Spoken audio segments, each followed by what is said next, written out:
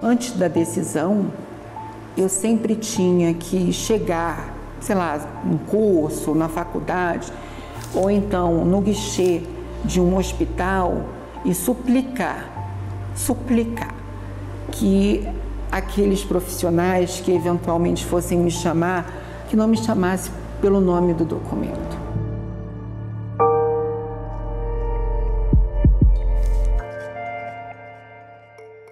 Na escola, nós somos perseguidas, chamadas dos mais variados nomes, é, humilhadas ano após ano, e fica muito difícil, fica insustentável manter-se dentro da escola, estudando.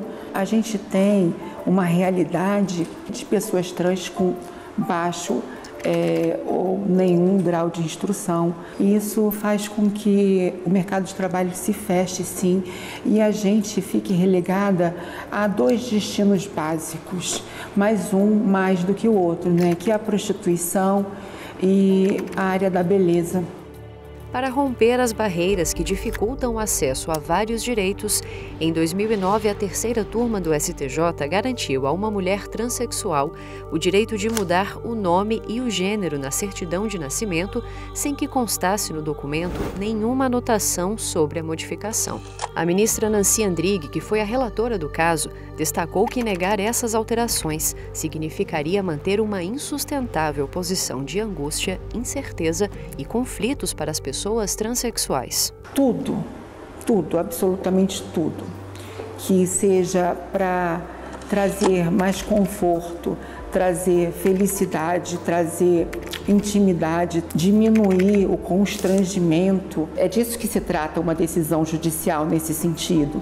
Tudo isso, claro que traz mais dignidade. As decisões judiciais elas, elas têm o poder de construir verdades né, nas, nas vidas das pessoas, de transformar as vidas das pessoas e é a garantia de direitos básicos que permite que a energia, antes direcionada a lutas judiciais, se transforme em luta pela realização de sonhos.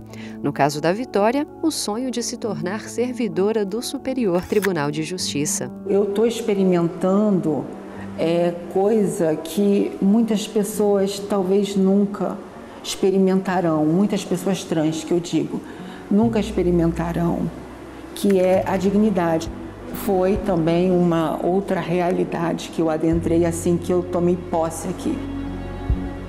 Consegui né, modificar o meu destino, o meu o, o, o que era determinado, né, o determinismo que rondava a minha vida. E hoje, depois de ter passado por tudo isso, eu sinto orgulho de quem eu sou hoje. Eu sinto orgulho de quem eu sou hoje. E meus pais também.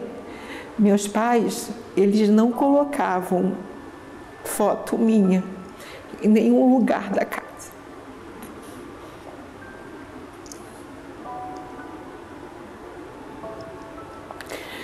Não tinha fotos minhas. Hoje tem. Hoje eu tenho até um álbum. Então eu tenho orgulho de mim.